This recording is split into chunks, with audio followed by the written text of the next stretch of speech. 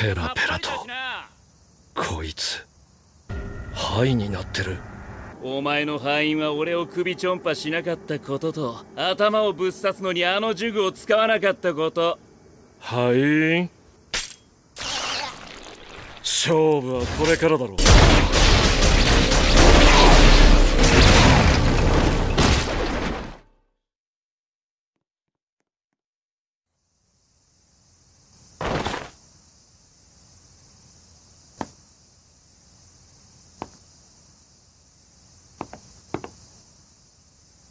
死に際で掴んだ。重力の確信。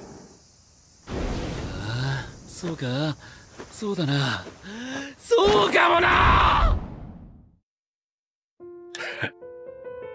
化け物が。あんた全員家の人間だろ。無加減呪術のことはよく知ってるわけだ。だがこれは五条家の中でもごく一部の人間しか知らない